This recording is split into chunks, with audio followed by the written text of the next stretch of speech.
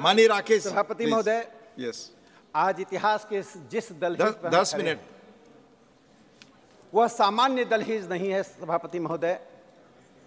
जिन तीन कानूनों को साम्राज्यवादियों ने साम्राज्यवाद के हित में लिखा था आईपीसी सीआरपीसी और इंडियन एविडेंस एक्ट जिसे हाउस ऑफ़ कॉमन्स और हाउस ऑफ़ लॉर्ड्स ने पारित किया था जिसे भारतीयों को दास्ता के बंधन में दमन के साथ बनाकर रखने के लिए बनाया गया था, आज उन तीन कानूनों को परिवर्तित ही नहीं किया जा रहा। तीन कानूनों को पूरी तरह से खारिज करके तीन नए कानून को बनाया जा रहा है। प्रधानमंत्री नरेंद्र मोदी जी इस देश में डीकोलोनाइजेशन का एक नया इतिहास लिख रहे हैं। सभापति महोदय, इन कानूनों को बनाने में जो परिश्रम हुआ, उसकी मैं एक छोटी सी झांकी बताना चाहता हूँ, जिसे कल माननीय गृह मंत्री अमित शाह जी ने लोकसभा में बताया था। 18 राज्यों ने 16 उच्च न्यायालयों ने, सर्वोच्च न्यायालय ने 22 लॉ यूनिवर्सिटीज ने, पाँच विधिवेत्ताओं ने जो शिक्षाविद हैं और 200 आईपीएस ऑफिसर्स ने, करीब 40 सांसदों ने और स्टैंडिंग कमेटी के साथ 3,200 सुझाव आए। इन 3,200 सुझावों में से इन तीन कानूनों को बनाया जा रहा है। जो मुख्य बातें जो चर्चा हुई मैं चार पाँच बातें उसमें उल्लेखित करना चाहता हूँ। जो लोग महिलाओं के हित की बात करते थे लेकिन महिलाओं को संरक्षण न कानून दे पाती थी न पुलिस दे पाती थी। आज इस कानून के द्वारा 18 वर्ष की की महिलाओं को यानी 18 वर्ष तक की बच्चियों को उस उस श्रेणी में लाया गया यदि उनके साथ बलात्कार होता है तो उसे फांसी की सजा दी जाएगी।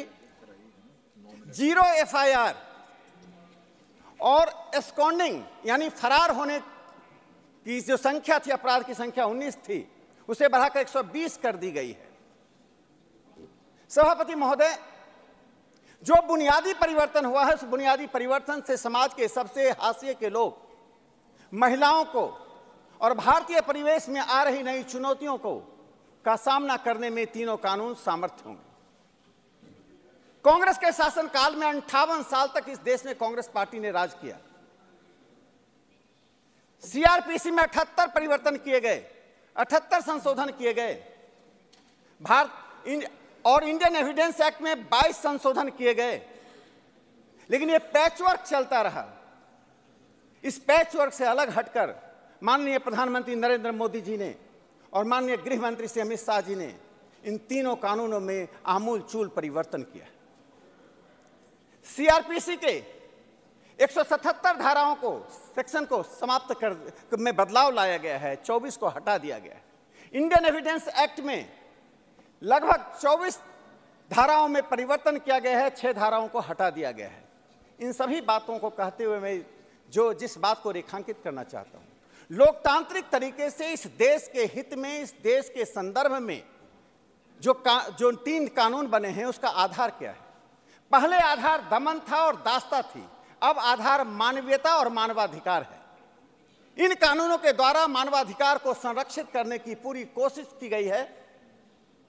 हर व्यक्ति यह महसूस करे कि न्याय से दंड निकलता है पहले दंड से न्याय निकलता था।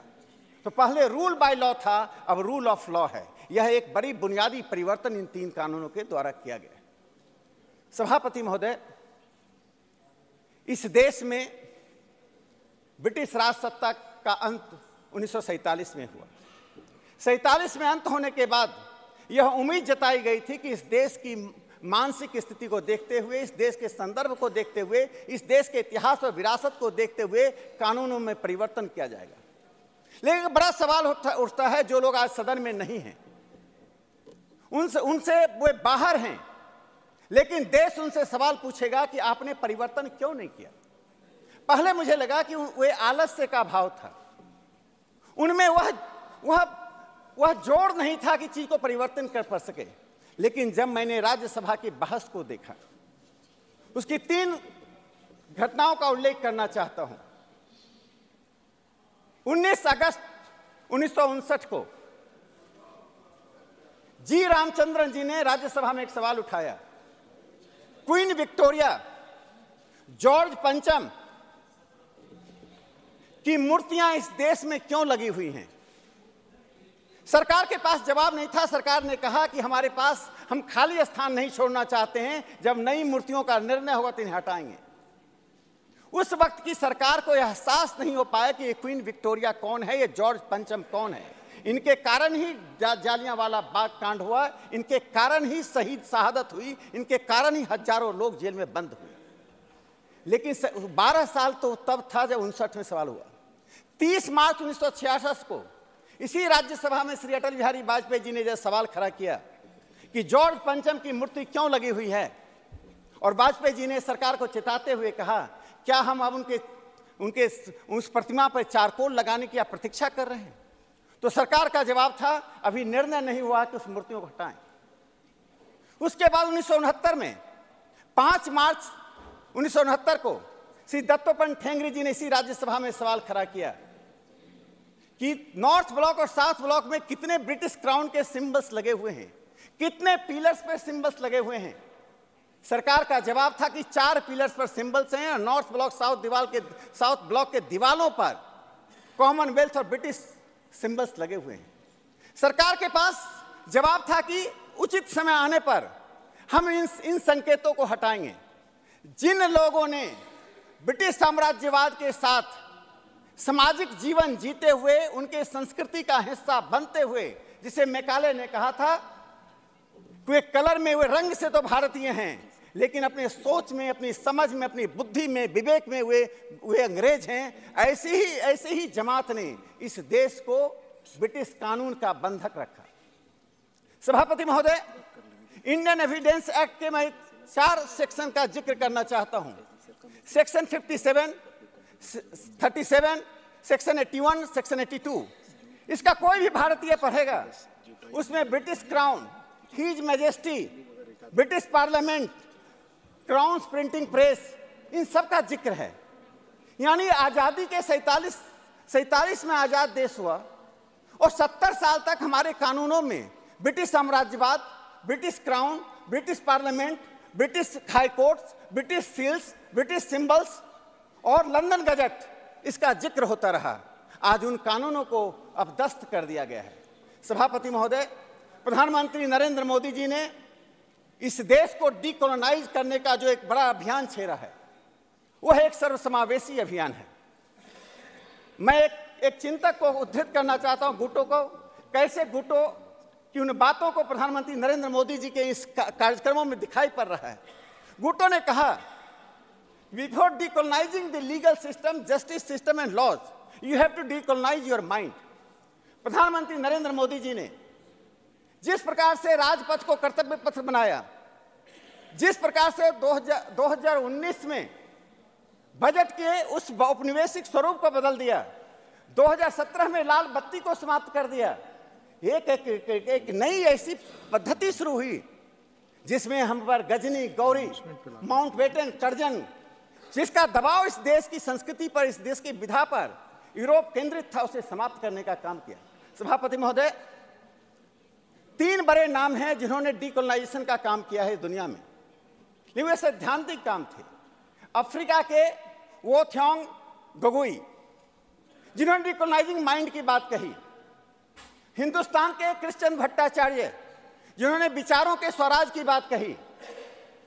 अब गोगोई से लेकर भट्टाचार्य तक, और अमेरिका में बैठी हुई भारतीय मूल की गायत्री स्मृति भाग अब इन तीनों ने वैचारिक बात की, हम सेमिनार करते रहे डिकोलाइजेशन पर, हम लेख लिखते रहे, प्रधानमंत्री नरेंद्र मोदी जी दुनिया के अकेले शासक हैं।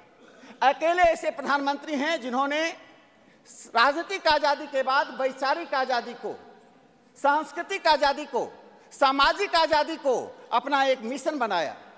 और इस मिशन के कारण वह अखबार, जो चीन का ग्लोबल टाइम्स भारत का आलोचक है लेकिन जब एक शक्ति के साथ, एक उद्देश्य के साथ काम होता है तो ग्लोबल टाइम्स ने लिखा 30 मई 2023 को अपने संपादकीय में समर्थन करते हुए लिखा, सभापति महोदय एक मिनट में समाप्त करता हूँ। We emotionally support India move for decolonisation और मैं इससे जोड़ता हूँ गार्डियन अखबार ने 19 मई 2014 को जो प्रधानमंत्री जी के बारे में लिखा Modi ji new test of destiny उसमें जो कहा था कि प्रधानमंत्री नरेंद्र मोदी जी भारत की सांस्कृतिक वैचारिक पृष्ठभूमि को अंग्रेजियत से अलग करना चाहते हैं इज़ ए गिफ्टेड पॉलिटिशियन आज उस बात को हम देख रहे हैं। आज पूरी दुनिया में इस बात की चर्चा हो रही है। डीकोलोनाइजेशन का एजेंडा पूरी दुनिया में मुख्य धारा का एजेंडा बन चुका है। आज प्रधानमंत्री मोदी जी ने यह साबित कर दिया है कि यदि देश को अपनी अस्मिता के आधार पर अपने पैरों पर चलकर आगे बढ़ना है उसे विदेशी दास्ता से अपने आप को मुक्त करना पड़ेगा। उनके लिए मैं दो पंक्ति बोलता हूँ जो प्रधानमंत्री मोदी जी ने आज डीकोलोनाइजेशन का संदेश पूरी दुनिया को दे, दिया है। दिशा दीप्त हो उठी प्राप्त कर पुण्य प्रकाश तुम्हारा लिखा जा चुका अनल अक्षरों में इतिहास तुम्हारा। बहुत बहुत धन्यवाद। धन्यवाद। धन्यवाद माननीय Rakesh ji. Message from Lok Sabha secretary